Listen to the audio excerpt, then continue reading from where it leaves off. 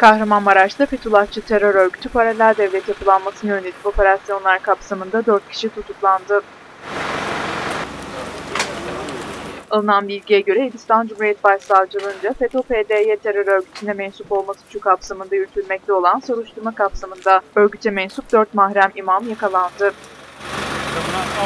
Emniyetteki işlemlerin ardından adliye çıkarılan 4 kişi tutuklandı.